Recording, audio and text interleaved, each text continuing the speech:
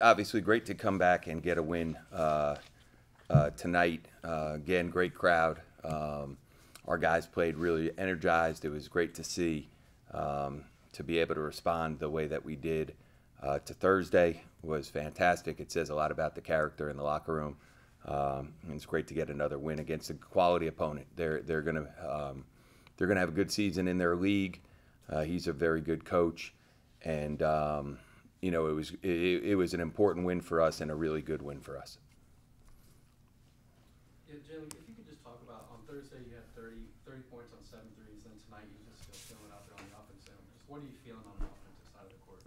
Um, I think my teammates just put me in the right positions, and I'm shooting shots that I work on all the time. So just confidence and letting it go. And then just could you talk about a little bit in the first half there, just the importance for you guys as a team to set the tone defensively? Yeah, I think we had a really good uh, half of defense in the first half. You know, we held them to like 22 points, and I think that kind of set the tone for the first half or the second half. And we just got to come back with that same effort and consistency.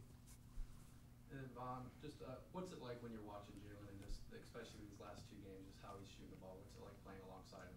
Uh, just something I knew he could always do. Um, him being the six man of the year last year, just was just a little sample size of what he can do, and just uh, him what he's doing now is just all the hard work he put he's put in, and just uh, watching him is just just make me a proud proud teammate for real. And all the work This is just great. And then if you could just talk a little bit about just the way the bench played tonight with you and Julie, it's just both leading the way with eight points, just the importance of how you guys are able to continue the tone that the starters have set. Um, definitely uh, just staying ready. Um, and just going out there playing defense. That's always the first mindset: playing defense, and the offense is going to come, and just bring tremendous energy off the bench, and the rest of it just goes by itself, comes to itself. Yeah, and Jalen, uh, you know, obviously you had a good role last year, but obviously a bigger role for you this year. So, kind of, how's it feel to just step in and early in the season be able to show, you know, you can step into that role that the other guys left? All I really want to do is win. You know, we won last year. We lose at home last year, so get that streak back up. Step into this role. I'm ready for it, and I know my teammates ready too. So we ready. Any more questions for the players? Vaughn, um, coming off the two overtime night, uh, sometimes you know the bench has to step up because a lot of the starters did put in a ton of minutes on Thursday night. Can you just talk about the mindset? I, I know he asked kind of about the bench, but just tonight, especially coming off of uh, such a long night the other night and then quick turnaround tonight. But before he even answers that, the only thing I want to add to that is like Vaughn may not start right now, but he's a starter. He, he's he's been a starter for three years. So last, Thursday night, I think he played 36 minutes. It might have been his career high in minutes. So uh, I'll let him answer, but I, I, think it's important for me to say that because that's how he's viewed here. It's not like he's coming off the bench. Uh, he, he's a proven player here for a long time. Uh, just piggybacking off what I said earlier, just it's all the attitude, just being ready. Uh, when coach puts you in, when he calls your number, just be ready, and everything's going to take care of itself. Uh, starts on defense, and everything's going to play out on offense.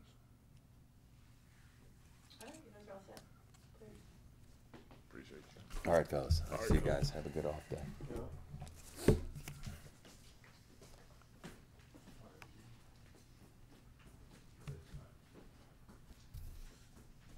Questions for Coach? Yeah, um, Coach, what could you say about just the you know quick turnaround here? How do you think the team responded to that? Yeah, you know what? On a Thursday night after the game, first of all, it was a great game Thursday and such a disappointing ending and a lot of things that you know I have to shoulder the responsibility for. I think I said that Thursday night.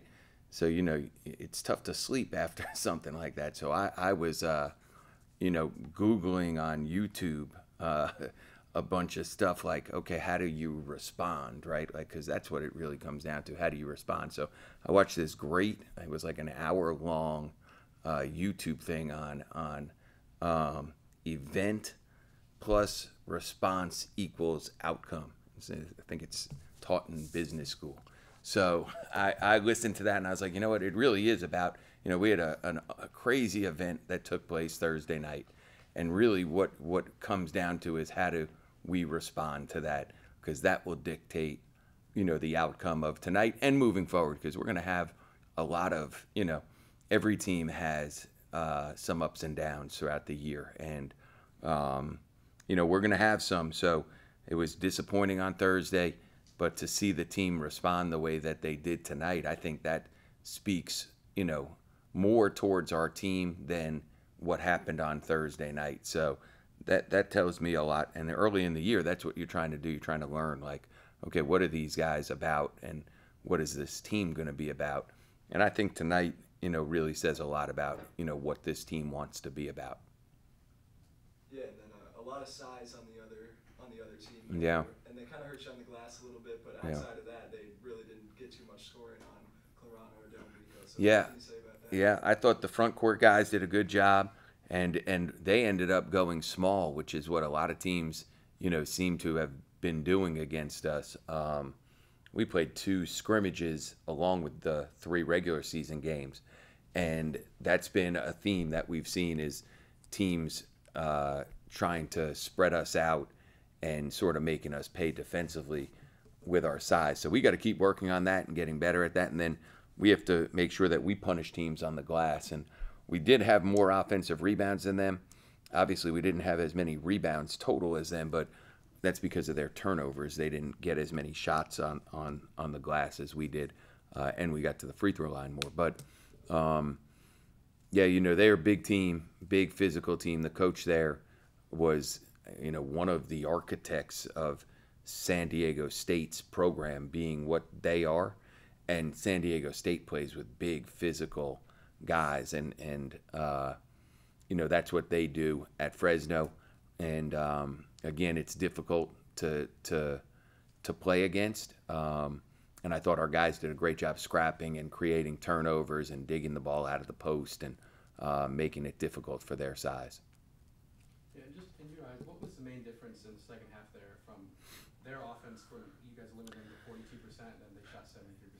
Second half? Yeah, I think the biggest thing was the break, the the the jailbreak layups. Like we we had turnover layup, uh, you know, defensive rebound outlet layup. Things we have to clean up. We got to our transition defense has to be much better. And um, you know, I didn't see that percentage. now I'm seeing it. I can't believe that we still won by ten. So, um, you know, we we have to clean up our transition defense and and some of the jailbreak ones you turn it over it's hard but we got to try to make plays and when we shoot we got to make sure we have guys back we have to have floor balance so that's something again early season okay we see this it had not been a problem in any of our uh, prior games but it was a problem tonight so we'll address that moving forward because we have to get better at that And just, you had a busy week with three games, just how do you utilize these next six days off? Yeah. for your Next game? Yeah, well, we'll we'll take two days off, uh, Sunday, Monday, um, one day, you know, class, one day to uh, get rest. Uh, we'll come back Tuesday and watch the film, practice Tuesday, Wednesday, and then we get to play three games in three days following that, or three games in four days. So, um, you know, we'll we'll get a chance again to learn more about where we're at and try to keep getting better.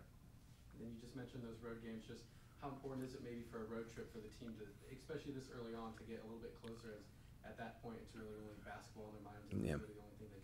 Yeah, I think that that's going to really help us, and and again, the multiple games and multiple days will help us because it it forces me to play more guys and give guys opportunities to to show that they can help the team when we get into league play. So these games right now, you know, today guys like Vaughn, I know Vaughn's been here forever, but Julius played really, really well. Rico played really well.